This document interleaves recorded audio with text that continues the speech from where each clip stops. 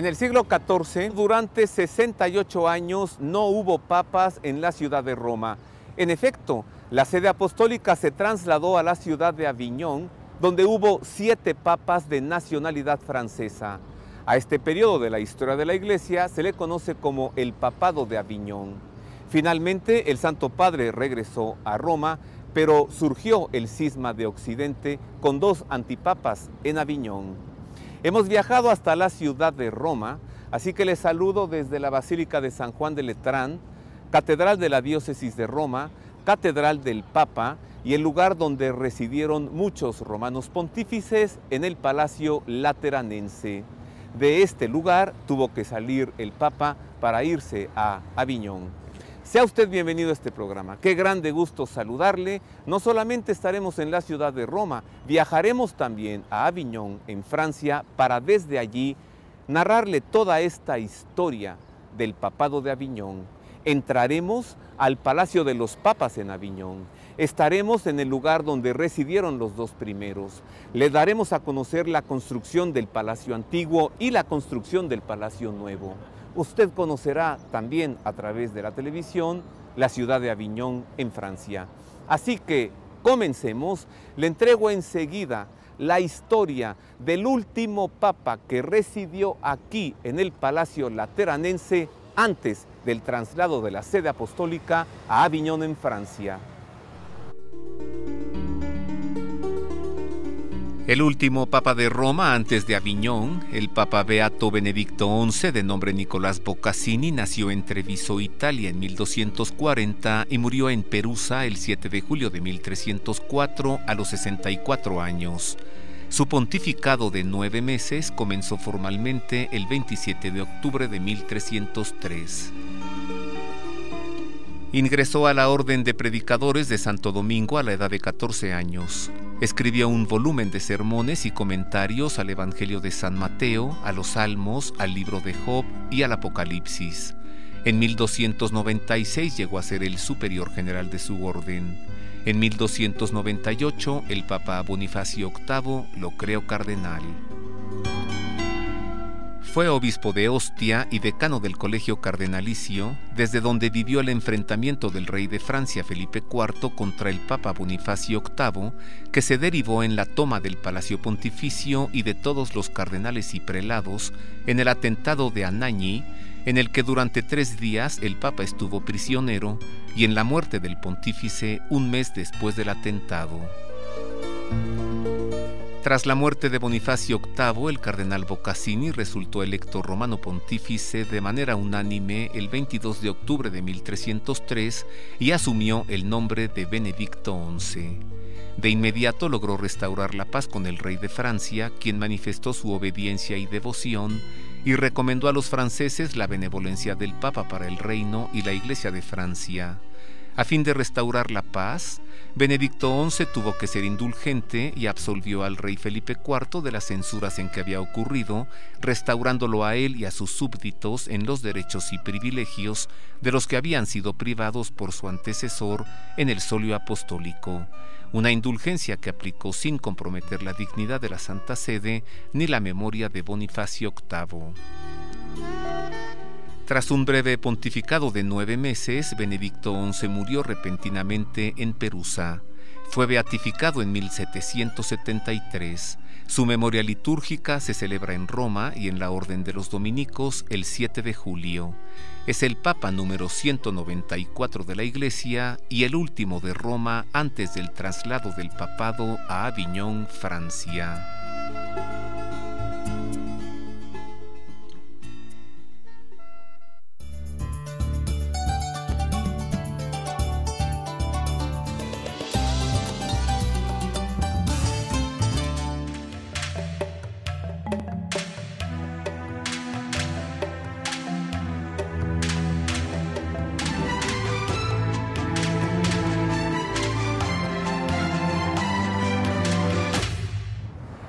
Queridos amigos, hemos salido ya de Italia, hemos dejado atrás la ciudad de Roma, hemos volado de Roma hasta el aeropuerto de Marsella en Francia y allí en automóvil hemos recorrido una hora para llegar a la ciudad de Aviñón, donde nos encontramos ya en este momento. Y estamos instalados afuera de los muros de la ciudad de Aviñón, precisamente en la puerta de Santo Domingo. En este lugar estuvo el convento de los dominicos, donde residieron los dos primeros papas de Aviñón. Hoy con tristeza le puedo decir que este convento fue destruido en el año de 1840 por dos razones. Una, la Revolución Francesa y su odio a la fe y a la iglesia.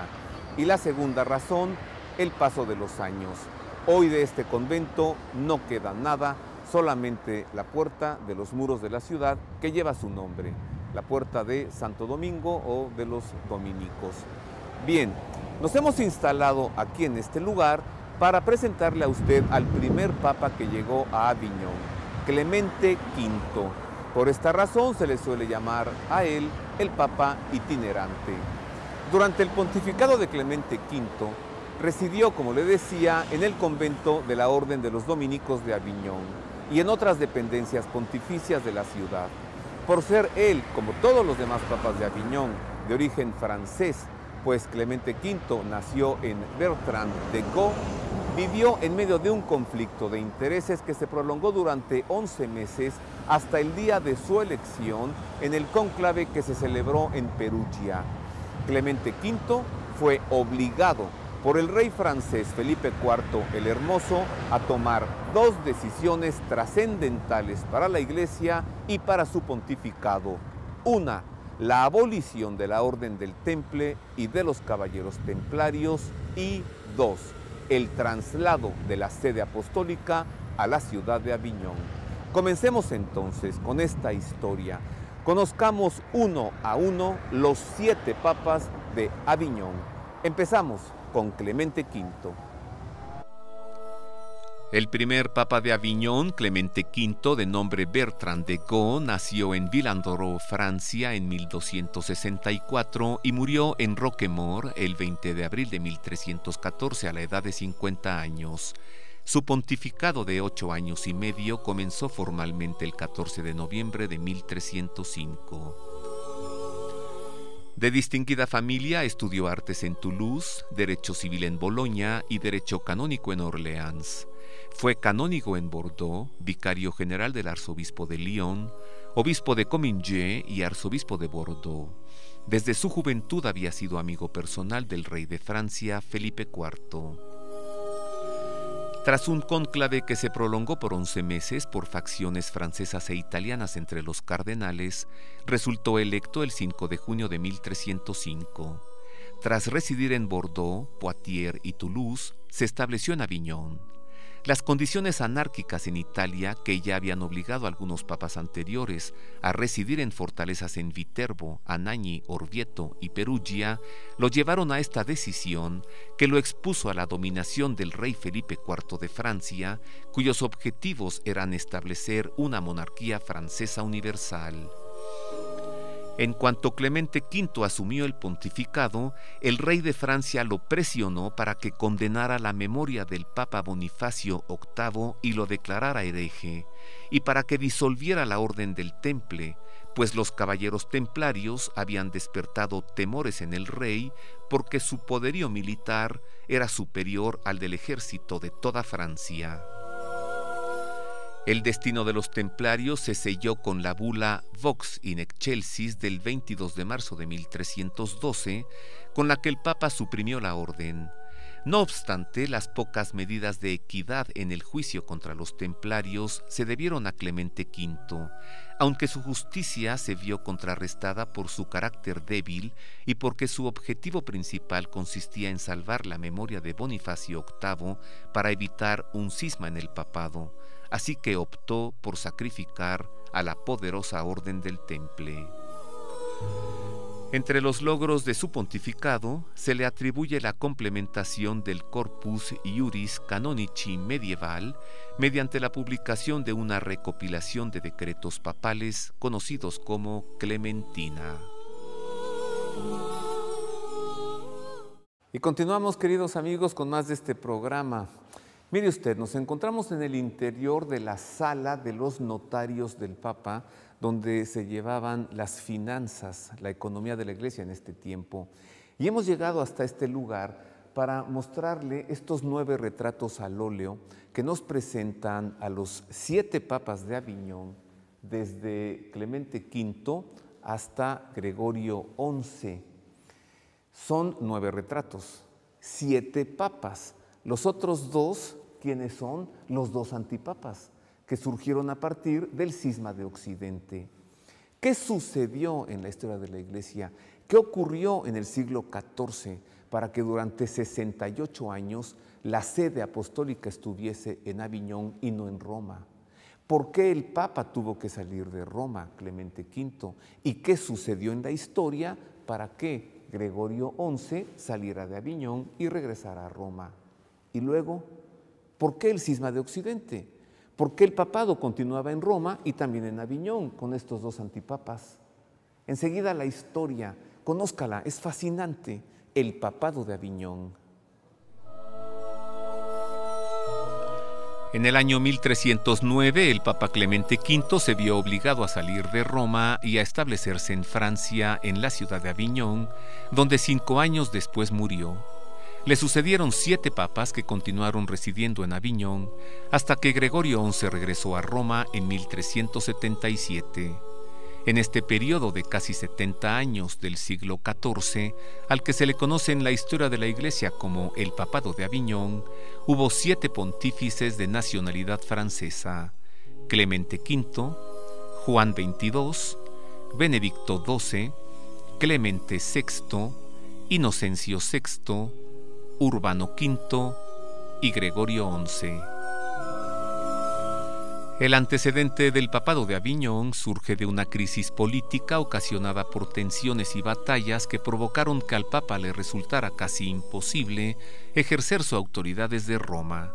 Ya durante casi todo el siglo XIII, el Papa y la Curia habían tenido que desplazarse por los diversos estados italianos a fin de sortear los conflictos políticos y territoriales, pues la pretensión de los emperadores alemanes y franceses de edificar un imperio universal chocó con el papado, que se había constituido como un Estado universal teocrático.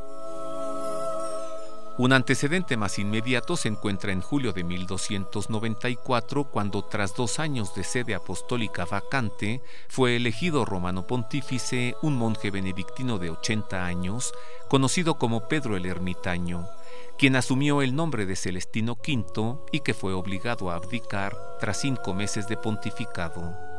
En diciembre del mismo año resultó electo Bonifacio VIII, quien se vio enfrentado por el rey de Francia, Felipe IV, pues luego de convocar a la nobleza y al clero de Francia a la unidad y al desconocimiento de la autoridad apostólica, hizo prisionero al Papa en el Palacio de Anagni en 1303 y aunque fue liberado a los tres días por el pueblo de Anagni, murió un mes después en Roma. A Bonifacio VIII le sucedió Benedicto XI, quien solamente vivió ocho meses. La sede apostólica nuevamente quedó vacante, ahora durante casi un año, hasta que resultó electo Clemente V, un papa duramente presionado por el rey de Francia Felipe IV, que vio conveniente trasladar la sede apostólica a Aviñón para resolver con Francia tres principales asuntos el prestigio del pontificado de su antecesor Bonifacio VIII, la disolución de la Orden del Temple a favor del rey francés y el fin de la guerra entre Inglaterra y Francia. Al cabo de casi 70 años tras la muerte de Gregorio XI, el último papa de Aviñón, una facción de cardenales se empeñó en que el papado continuara en Aviñón. La consecuencia fue el cisma de Occidente, tiempo durante el que hubo dos antipapas, no obstante, el papado ya había regresado a Roma y la historia de Aviñón quedaría como el recuerdo de un mal momento al que muchos historiadores se han referido como la cautividad babilónica de los papas en Aviñón.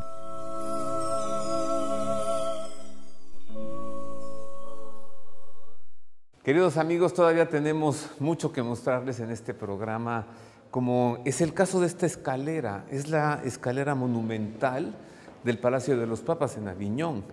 Verdaderamente son estos unos escalones testigos de la historia porque por aquí subía el Santo Padre con la corte pontificia y con la curia romana para dirigirse a la capilla a la celebración de la Santa Misa y de las diversas funciones litúrgicas.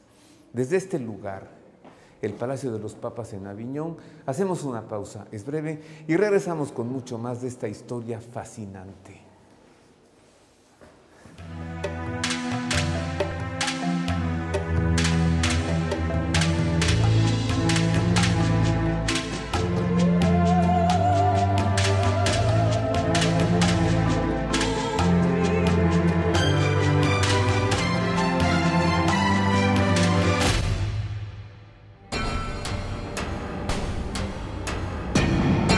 Universidad Pontificia de México. Fundada en 1553, es la Universidad del Papa y de los Obispos de México. Licenciaturas en Teología, Filosofía, Derecho Canónico, Derecho Civil y Ciencias Religiosas.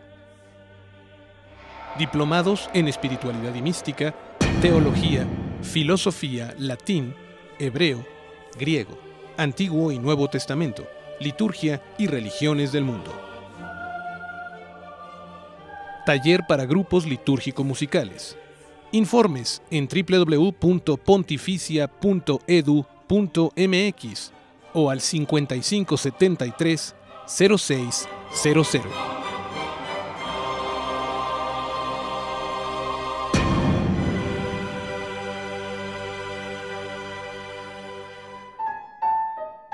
El gran escritor de origen libanés Gibran Jalil Gibran es autor de uno de los más hermosos libros que sobre Jesús se hayan escrito. Se llama Jesús, el Hijo del Hombre, y se han grabado en audio con la voz de un servidor y están disponibles ya en las plataformas digitales Amazon y iTunes. Le invito a que los conozca, a que disfrute esta obra maravillosa en audio, más fácil que leer, disponibles en Amazon y en iTunes.